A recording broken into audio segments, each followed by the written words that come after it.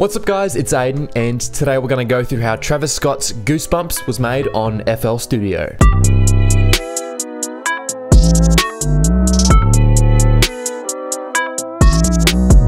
This song took me about a week to remake, so I'm really compressing this down to a watchable video. This beat was made by Cardo, Yung Exclusive, and Mike Dean using a Cubeatz sample. So first off, I want to go through how the sample was made, and then we'll go through the actual song. All the presets I'm about to show you are from Omnisphere. So the first one is the pinging cheese delay. Sounds like this.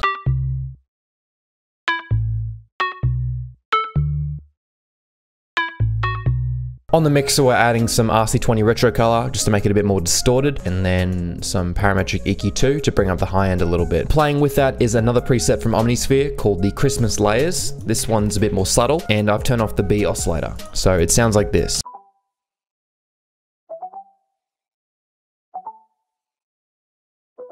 For effects, we're adding pitch wheel and we're taking it up 12 semitones, but we're leaving the timbre at zero. That creates a really nice effect. Then we're EQing out the lows and the highs, and then RC20 retro color, and we're bringing up the tone to 12. So this is what it sounds like without these effects, and then with them. The next thing we have is the piano.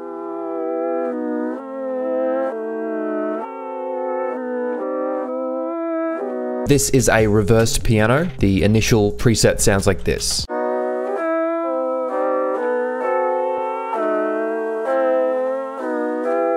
This preset is from Keyscape, it's the LA Custom C7 Cinematic Piano, and we're taking up the attack to 0.3 seconds. Then we're going inside of the piano roll and we're going to channel pitch, which is inside channel controls, and we're making these pitch bends that go throughout the entire loop.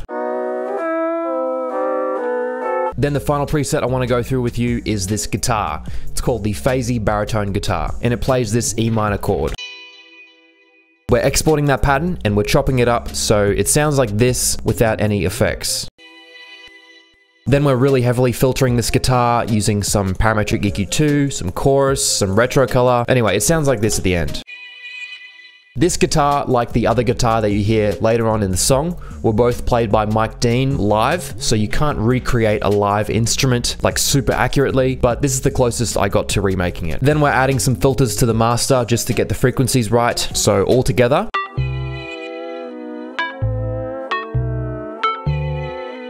The stereo width of this sample wasn't quite big enough, so we're adding some Ozone 9 Imager just to bring up the width. So this is the final result.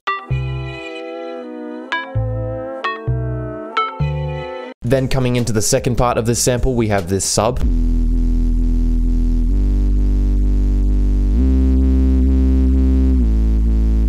and I made this on Serum. We're using two different triangle oscillators and the second one has the pitch brought up an octave. Then we're adding MG low 18 to get rid of some of the highs. It will sound like this without any external effects.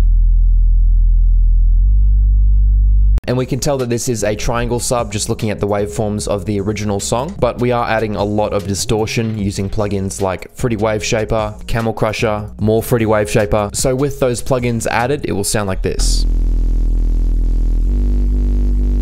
You might have noticed that there's some reverb going on here, and this actually pulsates as it plays so that it stereoizes the sound. If we look at the bass frequencies of the original song, we'll see some pulsating stereo.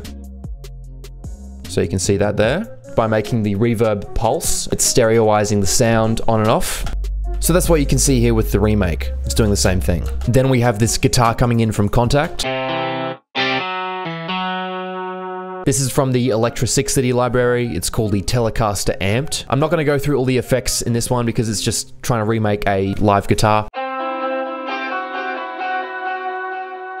I know this guitar doesn't sound very similar, and I probably will lose sleep over it, but this is my best guess at what it sounds like at the end.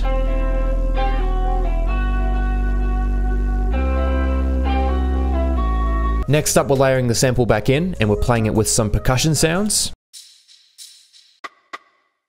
So it will sound like this.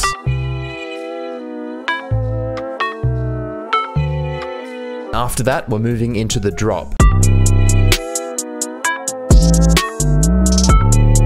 First off, we have the identical kick, which you can see right here. Watch this, ready? Oh, look how similar that is. Isn't that just so beautiful? This kick is a distorted rack kick. This is the rack kick before you make any changes to it.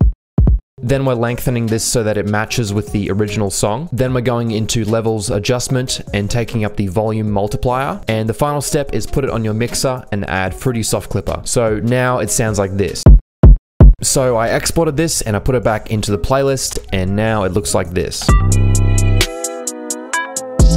Then for the snare, ooh, the snare's a pretty interesting one actually. So the snare was made by layering in a few different snares. So you know the Haas effect where you where two things playing together simultaneously sounds like one sound? We're doing that with snares to make this elongated. Then we're layering in this open hi-hat as well. And all together. And in the context of the song, then I'm pretty confident that this is the exact hi-hat that was used. We're using this BWB hi-hat. And that sounds like this. There's this little reverse hat that goes on here. And to make this, just go into your piano roll and make this pattern. And we're putting that in the playlist and we're going render and replace. Then you can just trim that down and reverse it. Then to make that reverse sample a bit more sweet, we're layering in two other hi-hats and they will sound like this at the end. So all together. I'm confident again that this is the actual 808 that was used. And again, you can see this in the waveforms, just looking at it. We're using the Wilifull 3 808 and we're chopping out this first section here to get rid of that punch. Then we're looping it at these two points here so that it plays forever. I've already gone through how to loop in a previous video. I'll leave a link to it up there. I'm not going to play you the entire loop, but if you want a video just on 808s and how to make 808 slides, let me know in the comments below and we can do a video just on how to do that. The 808 plays this pattern.